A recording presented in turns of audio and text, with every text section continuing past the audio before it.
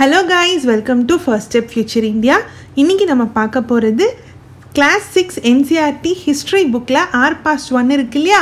அதில் chapter five kingdoms king and and early republic இதான் பார்க்க போகிறோம் ஸோ இதை நான் ஃபஸ்ட்டு இந்த லெசன் ரொம்ப ஈஸி ரொம்ப ரொம்ப கம்மியான இன்ஃபர்மேஷன் தான் நம்ம இதில் பார்க்க போகிறோம் ஃபுல் லெசனையும் ஒரு குட்டி கதையாட்டம் சொல்லிடுறேன். அதுக்கப்புறமா நம்ம page by page paragraph by paragraph என்ன கொடுத்துருக்காங்களோ நம்மளுக்கு எது இம்பார்ட்டண்ட்டோ அதை பார்த்துடலாம்.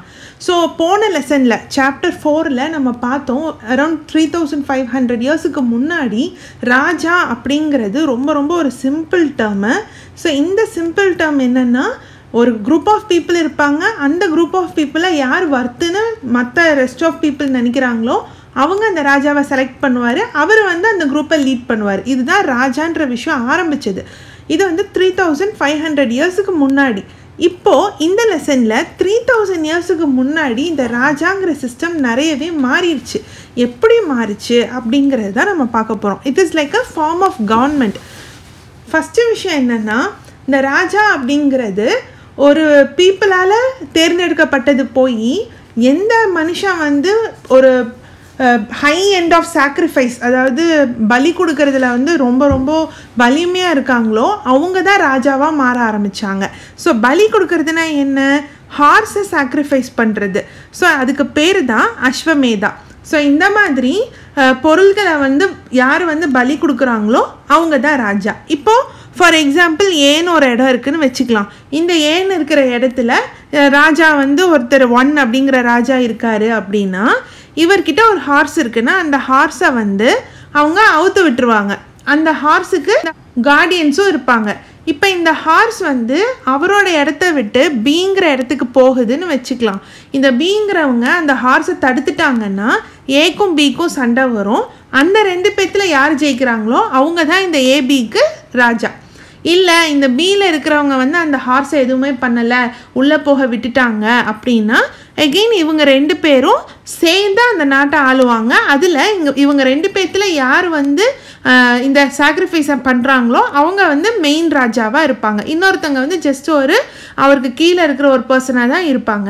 இப்படி தான் ராஜாங்கிற சிஸ்டம் வந்து செலக்ட் பண்ண ஆரம்பித்தாங்க இதில் இம்பார்ட்டண்ட்டான விஷயம் என்னென்னா ராஜ் இந்த இப்போ ஒரு சிஸ்டம் இது வந்து ஜஸ்ட் ஒரு காமன் சென்ஸில் நீங்கள் யோசிச்சு பார்த்தீங்கன்னா புரியும். இப்போ இந்த மாதிரி ஏன்னு ஒரு இடம் இருக்கு இல்லையா? இந்த ஏங்குற இடம் இதே மாதிரி பாதுகாப்பாக இருக்கணும். அதாவது வெளியில் இருக்கிறவங்க நம்மளை தாக்கக்கூடாது. அதே சமயம் நம்ம மற்றவங்க கிட்ட வந்து தாக்குனாலும் நம்ம ஜெயிக்கிற அளவில் இருக்கணும் அப்படின்னா அவங்களோட சோஷியல் பேலன்ஸ் கரெக்டாக இருக்கணும். அந்தந்த வேலை செய்கிறதுக்கு கரெக்டான ஆளுங்க இருக்கணும். அதனால ஆக்குபேஷனல் வைஸாக தான் கேஸ்ட் வந்துச்சுன்னு நம்மளுக்கு தெரியும். ஸோ கேஸ்ட் எப்படி வந்துச்சுன்னா அந்தந்த ஆக்குபேஷனில் இருக்கிறவங்கள ஒரு நாலு கேட்டகரியாக பிரிக்கிறாங்க. அந்த நாலு கேட்டகரியில் இப்போது ஒரு அப்பா வந்து ஃபார் எக்ஸாம்பிள் வந்து ஒரு வாரியர் அப்படின்னா அவங்களோட பசங்களும் வாரியராக தான் இருக்கணும். அந்த மாதிரி அந்த கேட்டகரியை ஃபில் பண்ணிக்கிட்டே வராங்க. ஸோ யார் வேணாலும் எந்த ப்ரொஃபஷன் வேணாலும் எடுக்கலான்னு இருக்க முடியாது. இப்படி தான் கேஸ் சிஸ்டம் வந்துச்சு வந்துச்சு. அப்போது இந்த கேஸ் சிஸ்டம் தான் வர்ணான்னு சொல்கிறாங்க அந்த வர்ணாவில் தான் நாலு விதமான பேர் இருக்காங்க. ஃபஸ்ட்டு வந்து பிராமின்ஸு. செகண்ட் வந்து வந்து சத்ரியாஸ் அதாவது வாரியர்ஸ் தேர்ட் வந்து வைஷ்யாஸ். வைஷ்யாஸுங்கிறவங்க ரொம்ப காமன் பீப்புள் ஃபோர்த்து கேட்டகரி வந்து சுத்ராஸ். சுத்ராஸ் அப்படிங்கிறவங்க இந்த மூணு கேட்டகரி அதாவது பிராமின்ஸ் சத்ரியாஸ் வைஷ்யாஸ் இந்த மூணு கேட்டகரியையும் யார் வந்து சர்வ் பண்ணுறாங்களோ அவங்களோட தேவைகளை எல்லாம் சர்வ் பண்ணுவாங்களே வேலைக்காரங்க மாதிரி அவங்கள தான் சுத்ராஸ்ன்னு சொல்கிறாங்க ஸோ இந்த என்டையர் லெசன்லேயும் நம்ம சிம்பிளாக ஞாபகம் வச்சுக்க வேண்டியது இந்த சுத்ராஸும் சரி விமன்ஸும் சரி எந்த ஒரு பொலிட்டிக்கல் ஆக்டிவிட்டிலையும் இல்லை. அவங்க வந்து எல்லாத்துலேருந்தும் ஒதுக்கி தான் வச்சுருந்தாங்க. ஸோ இவ்வளோ தான் ஃபஸ்ட்டு மேஜராக நம்ம தெரிஞ்சுக்க வேண்டியது. ஸோ இந்த மாதிரி சாக்ரிஃபைஸ் எல்லாம் ப்ரீஸ்ட் தான் பண்ணாங்க. அவங்க வெல் ட்ரெயின்டாக இருப்பாங்க. அவங்களுக்கு வந்து கிஃப்ட் மூலமாக ரிவார்ட் பண்ணுவாங்க. இதெல்லாம் நம்ம பழைய படங்கள்லையும் அதிகமாக பார்த்துருக்கோம். ஸோ முதல்ல இருந்த ராஜான்றவங்க ஜஸ்ட்டு ஒரு லீடர் தானே தவிர அந்த அந்த ஒரு பர்டிகுலர் கம்யூனிட்டியை லீட் பண்ணுற ஒரு லீடர் தானே தவிர அவருக்குன்னு ஸ்பெஷல் ஃபீச்சர்ஸ்லாம் எதுவும் இல்லை பேலஸ் இல்லை எதுவும் இல்லை. ஆனால் த்ரீ தௌசண்ட் இயர்ஸுக்கு முன்னாடி இருந்தவங்களுக்கு ஒரு சென்ட்ரல் ஃபிகர் அதாவது அவருக்குன்னு வந்து நிறைய ரிச்சுவல்ஸ் இருக்குது அவருக்குன்னு தனியான ஒரு பேலஸ்ஸு இருக்கிற இடம் எல்லாமே அவருக்கு ரொம்ப ஸ்பெஷலைஸ்டாக இருக்கும். அந்த இடத்துலையே அவர் ரொம்ப ரொம்ப பவர்ஃபுல்லான ரொம்ப ஸ்பெஷலைஸ்டான பர்சனாக ட்ரீட் பண்ணப்பட்டார். அதே மாதிரி தான் ப்ரீஸ்ட்டும் அந்த இடத்துல. ஸோ அவங்க வந்து சொல்கிறது தான் அங்கே எல்லாரும் கேட்கக்கூடிய வேதாவாக்காவும் இருந்துச்சு. ஸோ நான் வர்ணாங்கிறது முன்னாடியே எக்ஸ்பிளைன் பண்ணிவிட்டேன் உங்களுக்கு புரிஞ்சிருக்கும்னு நினைக்கிறேன். வர்ணாவில் மொத்தம் நாலு பேர் இருக்காங்க. ஸோ ஃபஸ்ட்டு கேட்டகரி பிராமின்ஸு பிராமின்ஸோட பசங்க பிராமினா தான் இருக்கணும். அந்த மாதிரி எல்லாமே பிறப்பை பேஸ் பண்ணி தான் இருக்குது நெக்ஸ்ட்டு கேட்டகரியில் சத்ரியாஸு ஸோ சத்ரியாஸுங்கிறவங்க வாரியர்ஸு தேர்ட் கேட்டகரி வந்து வைஷ்யாஸு வைஷ்யாஸுங்கிறவங்க காமன் பீப்புள் அதாவது ஃபார்மர்ஸ் ஹர்டர்ஸ் இவங்கெல்லாம் கடைசியாக இருக்கிறது சுத்ராஸு சுத்ராஸுங்கிறது தான் இருக்கிறதுலே லோ கேஸ்ட்டு இவங்க மூணு பேரையும் சர்வ் பண்ணுறவங்க ஸோ இவங்களை எதுலேயுமே சேர்த்துக்க மாட்டாங்க. அன்டச்சபிள்ஸ் மாதிரி ட்ரீட் பண்ணுவாங்க. ஓகேங்களா? நெக்ஸ்ட்டு பார்த்தோன்னா இப்போ நம்ம முதல்ல பார்த்த ராஜாவே இன்னும் நல்லா வளர்ந்து ஒரு இன்னும் ரொம்ப இம்பார்ட்டண்ட்டாக சென்ட்ரலைஸ்டாக ஆனது தான் ஜனபதாஸ். ஸோ ஜனபதாஸ்னால் இன்னும் கொஞ்சம் அட்வான்ஸ்டான ஒரு கம்யூனிட்டின்னு நம்ம சொல்லலாம். ஸோ ஒரு இடத்துல இருக்காங்கன்னா அவங்க அந்த இடத்த ஆக்கிரமிச்சோன்னா அந்த இடத்துல செட்டில் ஆயிடுவாங்க அதுக்கு சில எக்ஸாம்பிள்ஸ்லாம் கொடுத்துருக்காங்க. பூரணக்யுலா இன் டெல்லி ஹஸ்தினாபுரா இன் மீரூட் அத்ரஞ்சிகேரா இன் எத்தா. ஸோ இந்த ரெண்டும் மீரூட்டும் இந்த எத்தா அப்படிங்கிற இடமும் உத்தரப்பிரதேஷில் இருக்குது ஸோ இவங்கக்கிட்ட வந்து ஹட்ஸில் இருந்திருக்காங்க. நிறைய கே கேட்டில்ஸ் வச்சுருக்காங்க. அதே மாதிரி நிறைய க்ராப்ஸ் வந்து க்ரோ பண்ணியிருக்காங்க. Rice wheat barley pulses sugar cane sesame mustard இது எல்லாத்தையுமே பண்ணியிருக்காங்கன்னு சொல்கிறாங்க ஸோ அதே மாதிரி பாட்ஸும் இவங்க யூஸ் பண்ணியிருக்காங்க. அதாவது மண்பானைகள். அதே மாதிரி அந்த பார்ட்ஸ் ரொம்ப இம்பார்ட்டண்ட் என்னென்னா பெயிண்டர் கிரேவேர் ஸோ உங்களுக்கு எந்த ஒரு competitive எக்ஸாம்லேயும் black ware grey ware painter grey ware pressed grey ware designed grey ware இந்த மாதிரிலாம் கேட்பாங்க. எந்தெந்த டைம் பீரியடில் எது எது யூஸ் பண்ணாங்கன்னு ஸோ இது ஞாபகம் வச்சுக்கோங்க. இதில் வந்து டிசைன்ஸும் பெயிண்ட் பண்ணியிருக்கேன். எப்படிப்பட்ட டிசைன்ஸ்னால் லைன்ஸு ஜாமெண்ட்ரிக் பேட்டர்ன்ஸ்லாம் இதில் இருந்திருக்கு. இப்போது ஃபஸ்ட்டு ராஜான்னு இருந்தாங்க அதுக்கப்புறமா ஜனபதாஸ்னு ஆனாங்க இப்போ இதுலேயே இன்னும் கொஞ்சம் அட்வான்ஸ் ஆகி மகாஜனபதாஸ்னு ஆயிருக்காங்க எத்தனை வருஷத்தில்? இப்போ இருந்து டூ தௌசண்ட் ஃபைவ் ஹண்ட்ரட் இயர்ஸுக்கு முன்னாடி மகாஜனபதாஸ்னு ஆயிட்டாங்க அவங்க இன்னுமே அட்வான்ஸ்டு அதாவது ஃபோ ஃபோர்ட்ஸ் எல்லாம் இருக்கும். ரொம்ப வந்து கேபிட்டல் சிட்டி வச்சுருப்பாங்க. இவங்க எல்லாரோடவும் ரொம்ப பெரிய விதமான ஒரு ராஜ்யத்தை அவங்க ஆண்டிருக்காங்க. ஸோ இதில் பார்த்தீங்கன்னா ரிவர் நேம்ஸ் கொடுத்துருக்காங்க. லைக் காவேரி பெண்ணார் துங்கபத்ரா கிருஷ்ணா இந்த மாதிரி எல்லா ரிவர்ஸும் நம்மளுக்கு தெரியும் இல்லையா? அதெல்லாம் கொடுத்துருக்காங்க. இந்த ஸ்மால் லெட்டர்ஸில் இருக்கிறதெல்லாம் ஜனபதாஸ் கேபிட்டல் லெட்டர்ஸில் கொடுத்துருக்கிறதெல்லாம் மகாஜனபதாஸ். ஸோ இதெல்லாம் ஞாபகம் வச்சுக்கோங்க. எந்தெந்த ஏரியாவில் இருக்குதுன்னு பார்த்துக்கோங்க. ஓகேங்களா இதில் ஃபோர்ட்ஸ் எல்லாம் எப்படி இருந்தது? மகஜனா பதாஸோட ஃபோர்ட்ஸ் எப்படி இருந்தது அப்படின்னு நம்ம பார்த்தோம்னா அவங்க தன்னைத்தானே காப்பாற்றிக்கிறதுக்காகவும் பவர்ஃபுல்லாக ரிச்சாக இருக்கிறவங்க எல்லாம் கீழே இருக்கிறவங்கள கண்ட்ரோல் பண்ணுறதுக்காகவும் அதே மாதிரி ரொம்ப ஹை கன்ஸ்ட்ரக்ஷன் எதிரிங்க கிட்டேருந்து தன்னைத்தானே காப்பாற்றிக்கிறதுக்காகவும் எல்லாத்துக்காகவும் ஃபோர்ட்ஸை வந்து அதிகமாக நாட ஆரம்பிச்சிருக்காங்க. ஸோ இது வந்து ஒரு எக்ஸாம்பிள் கொடுத்துருக்காங்க ஃபோர்ட்ஸ் எப்படி இருந்திருக்குங்கிறத. அதே மாதிரி ஆர்மிஸும் மெயின்டைன் பண்ண ஆரம்பிச்சிட்டாங்க. ஸோ ஆர்மி ஆர்மி பண்ணுறதுக்கு அவங்களுக்கு சேலரிலாம் கொடுக்கணும் இல்லையா? அதெல்லாம் கொடுக்குறாங்க.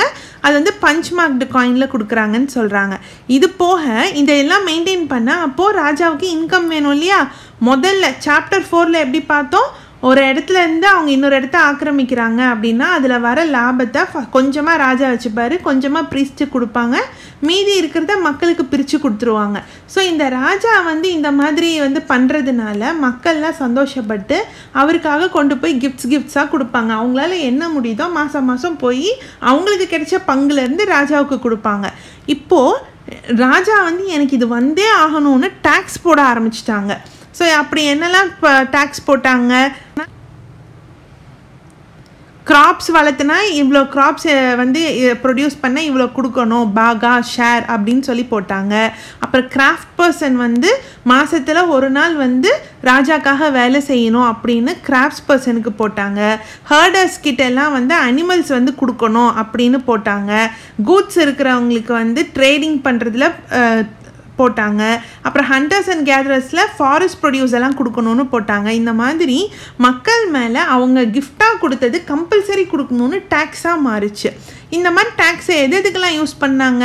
ஃபோர்ட்ஸ் பில் பண்ண அதாவது பழைய பெரிய பெரிய கோட்டைகளை கட்டுறதுக்கு யூஸ் பண்ணாங்க. ஆர்மிஸை மெயின்டைன் பண்ண யூஸ் பண்ணாங்க. அதே மாதிரி ராஜாவோட ஆடம்பர வாழ்க்கைகளுக்கும் இதெல்லாம் யூஸ் பண்ணியிருக்காங்க. ஓகேங்களா அடுத்து அக்ரிகல்ச்சர் எப்படிலாம் சேஞ்ச் ஆச்சு? அப்போ தான் வந்து அயன் ப்ளவுஷேர்ஸ் எல்லாம் வந்திருக்கு. ஸோ இதன் மூலமாக அக்ரிகல்ச்சர் வந்து அதிகமாக அவங்களுக்கு சாகுபடி நடந்திருக்கு. ரெண்டு விதமான விஷயம் அவங்க கொண்டு வந்திருக்காங்க. அதாவது ஏன்ஷியன் பீப்புளிலேருந்து இப்போ ரெண்டு விஷயம் அக்ரிகல்ச்சரில் பெருசாக வந்திருக்கு. ஒன்று அயன் ப்ளஷேர்ஸு இன்னொன்று டிரான்ஸ்பிளான்டேஷன் டைரெக்டாக போய் மண்ணில் வந்து விதையை போட்டு வளர்த்துறத விட அந்த விதையை எல்லாத்தையும் பயிராக்கி அதுக்கப்புறம் போய் நாற்று நடுறாங்க இல்லையா? இதுவும் மூலமாக அந்த விதையெல்லாம் வேஸ்ட் ஆகிறது கம்மியாக இருக்குது அதனால அவங்க நிறையவே பலனடைஞ்சிருக்காங்க. ஸோ இந்த ரெண்டு விஷயம் அக்ரிகல்ச்சரில் ரொம்ப இம்பார்ட்டண்ட்டாக இருந்திருக்கு. அப்போவுமே வந்து ஸ்லேவ்ஸ் ஸ்லேவ் மென்னும் விமனும் இருந்திருக்காங்க. அவங்களுக்கு பேர் தாசாஸ் தாசிஸ்னு சொல்லியிருக்காங்க. இவங்களுக்கு இன்னொரு பேரும் சொல்கிறாங்க காமகாராஸ். ஓகேங்களா? ஸோ இந்த நேம்ஸ் எல்லாம் ரொம்ப இம்பார்ட்டன்ட் நல்லா ஞாபகம் வச்சுருக்கோங்க இப்போ இந்த மகாஜன பதாஸ் அப்படிங்கிறவங்களுக்கு ஒரு நல்ல எக்ஸாம்பிள் அப்படின்னு நம்ம சொல்லலாம்னா இந்த மகதா எம்பையரை சொல்லலாம். ஸோ இந்த மகதா எம்பையர் வந்து மெயினாக கங்கா அண்ட் சோன் அந்த ரிவர் கிட்ட தான் இருந்திருக்கு. மகதா எம்பையர் இருந்த இடத்துல என்னெல்லாம் வந்து ரொம்ப ஃப்ளரிஷிங்காக இருந்ததுன்னா டிரான்ஸ்போர்ட் அதிகமாக இருந்திருக்கு. வாட்டர் சப்ளைஸ் இருந்திருக்கு. லேண்ட் எல்லாமே ஃபர்டைலாக இருந்திருக்கு. நல்லா ஃபாரஸ்ட் லேண்ட் இருந்திருக்கு. எலிஃபென்ட்ஸ் எல்லாமே வந்து கேப்சர் பண்ணி ஆர்மிக்காக ட்ரெயின் பண்ணியிருக்காங்க. அதே மாதிரி வுட்ஸ் இருக்கு இல்லையா? அதெல்லாம் வந்து கார்ட்ஸ் அண்ட் சேரியட்ஸ் பண்ணுறதுக்கு யூஸ் பண்ணியிருக்காங்க. அயன் ஒரு மைன்ஸ் இருந்திருக்கு. ஸோ இது எல்லாமே மகதாவை பற்றின ஒரு இம்பார்ட்டண்ட் இன்ஃபர்மேஷன் அதே மாதிரி மகதான்னு சொல்லும்போது அதில் ரெண்டு இம்பார்ட்டண்ட் ரூலரை பற்றி சொல்கிறாங்க ஒன்று பிம்பிசாரா இன்னொன்று அஜித்த சத்து. இவங்க ரெண்டு பேரும் ரொம்ப இம்பார்ட்டண்ட்டான ரொம்ப பவர்ஃபுல் ரூலர்ஸு ஸோ இவங்க தான் வந்து அதிகமாக நிறைய வந்து ஜனபதாசை வந்து கான்கவர் பண்ணியிருக்காங்கன்னு சொல்கிறாங்க அதே மாதிரி மகாபத்மநந்தா அப் அவரும் அப்ப ரொம்ப ரொம்ப இம்பார்ட்டன்ட் ரூலர் அப்படின்னு சொல்கிறாங்க அவர் தான் நார்த் வெஸ்ட்டில் நிறைய இடத்த கன்குவர் பண்ணி எக்ஸ்டெண்ட் பண்ணியிருக்காங்கன்னு சொல்கிறாங்க நெக்ஸ்ட்டு இப்போ ப்ரெசன்ட் டே ராஜ்கீர் அதாவது அப்போ இதுக்கு பேர் ராஜகிருஹா. இப்போ இதுக்கு பேர் ப்ரெசன்ட் ராஜ்கிர் ஓகேங்களா? இது பீகாரில் இருக்குது இங்கே தான் கேபிட்டல் ஆஃப் மகதாவா நிறைய வருஷம் இருந்திருக்கு. ஸோ இதெல்லாம் இம்பார்ட்டன்ட் நல்லா பார்த்துக்கோங்க. டவுட் இருக்குன்னா சொல்லுங்கள் நெக்ஸ்ட்டு கேபிட்டல் வந்து அந்த ராஜ்கீர்லேருந்து பாத்தலிபுத்ராவாக மாறியிருக்கு மகதாவில் ஓகேங்களா? அதுக்கப்புறமா இதில் இம்பார்ட்டண்ட்டாக நம்ம வந்து விஷயம் என்னென்னா டூ தௌசண்ட் த்ரீ ஹண்ட்ரட் இயர்ஸுக்கு முன்னாடி அலெக்சாண்டரு நம்ம இந்தியாக்குள்ளே வரதுக்கு முயற்சி பண்ணியிருக்காரு. ஆனால் அவரோட சோல்ஜர்ஸ் வந்து அதை ரெஃப்யூஸ் பண்ணியிருக்காங்க. ஏன்னா நம்ம எலிஃபெண்ட்லாம் வச்சு ஃபைட் பண்ணுறதுனால நம்மளை பார்த்து பயந்துட்டு அவங்க வந்து இல்லை இல்லை வேண்டாம் அப்படின்னு சொல்லியிருக்காங்க. ஸோ அவர் வந்து என்னென்ன மாதிரியான நாடுகளை அவர் கன்குவர் பண்ணியிருக்காருன்னு பார்த்தா எஜிப்த் வெஸ்ட் வெஸ்ட் ஏஷியா இந்த மாதிரியான நாடுகளை எல்லாம் அவங்க வந்து கன்குவர் பண்ணியிருக்காங்கன்றாங்க. இப்போது ஒரு விதமான ராஜாவை ஒரு விதமான கவர்மெண்ட்டை நம்ம பார்த்தோம். அடுத்தது இன்னொரு விதமான கவர்மெண்ட் தான் வாஜி. வாஜி அப்படிங்கிறது என்னென்னா இங்கே ஒரு கிங் கிடையாது. நிறைய கிங்ஸ் இருப்பாங்க.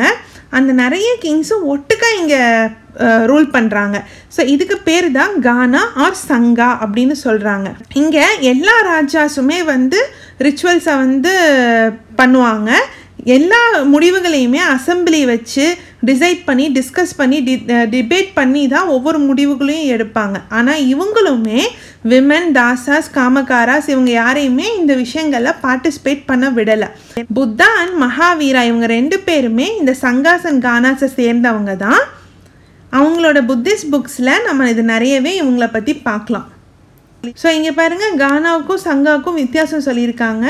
இது வந்து மெனி மெம்பர்ஸ் இருக்கிற குரூப்பை கானானும் ஆர்கனைசேஷன் ஒரு அசோசியேஷனை சங்கானும் சொல்கிறாங்க ஓகேங்களா ஸோ பல வருஷமாக இவங்க எல்லாம் ஒட்டுக்கா வந்து ரூல் பண்ணதுனால இவங்களை யாருமே கன்குவர் பண்ண முடியல ஜெயிக்க முடியல. பட் ஆயிரத்தி ஐநூறு வருஷத்துக்கு அப்புறமா குப்தா ரூலர்ஸ் தான் இவங்களுக்கு அடுத்தது அதாவது கானா அண்ட் சங்காவுக்கு அடுத்தது கன்குவர் பண்ணது. ஓகேங்களா ஸோ இதுவும் இம்பார்ட்டன்ட் பார்த்துக்கோங்க. இதில் வந்து ஜஸ்ட்டு ஒரு புத்திஸ்ட் புக்கை பற்றி சொல்லியிருக்காங்க.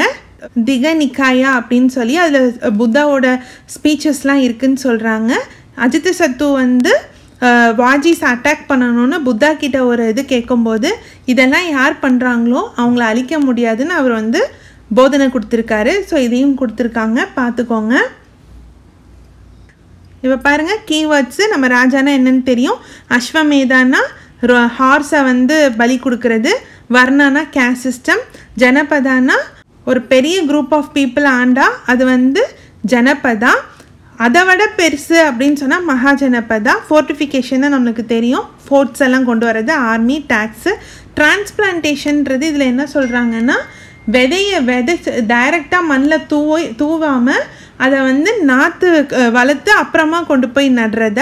அப்புறம் கானா சங்காங்கிறது ஒரு லீடர் கிடையாது பல லீடர்ஸ் சேர்ந்து செய்கிறது ஸோ டெமோக்ரஸி நம்மளுக்கு தெரியும்.